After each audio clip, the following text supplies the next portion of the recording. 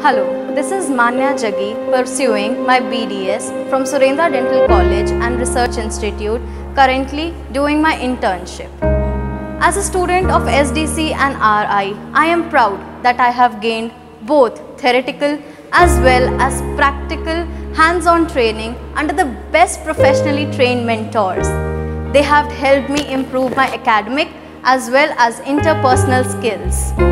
This institute has helped me to outshine in co-curricular field as well. My five-year journey at SDC and RI has not been easy, but at the end I can say it has been beautiful and a memory to cherish for lifetime. I would like to dedicate a self-written quotation for this institute and my profession. With all the ups and downs, with all the roller coaster rides, today I am here to spread brighter smiles.